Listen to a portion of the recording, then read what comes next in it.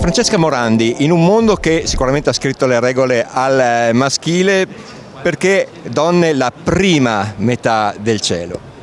La prima metà del cielo perché se vogliamo pensare al futuro e pensare alle nuove generazioni è fondamentale allora andare a valorizzare il contributo che noi donne possiamo portare all'interno della filiera siderurgica. Da qui il progetto Acciaio al Femminile, un progetto che riunisce e mette a fattor comune le donne professioniste del nostro mondo con l'intento anche di ascoltare testimonianze esterne che possano in qualche modo migliorare il nostro bagaglio personale e professionale. Abbiamo allora deciso per l'appuntamento di oggi qui a Made in Steel, che sarà tra l'altro il primo appuntamento in cui ci incontriamo tutte insieme dal vivo, di ospitare una giornalista, una donna, mamma, professionista, che ha la capacità di raccontare le zone più crude del mondo con parole così armoniose, così belle e visto che anche la nostra filiera ha bisogno di nuove parole, abbiamo chiesto a Francesca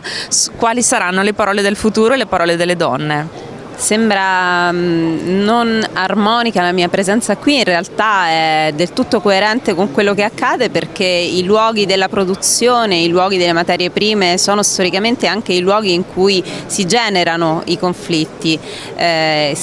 da cui si generano i grandi flussi migratori e storicamente soprattutto eh, nelle guerre a cui stiamo assistendo in questo periodo storico particolarmente controverso che non è solo l'invasione russa in Ucraina, è la lotta per la sopravvivenza in Corno d'Africa, è eh, la crisi e gli shock climatici, le prime a soffrire dalla combinazione di tutti questi fattori sono sempre le donne, quindi eh, la mia presenza qui ha senso per portare il punto di vista di chi è attento alla produzione, alla parte economica eh, del mondo, di quello che accade alle prime vittime, cioè alle donne.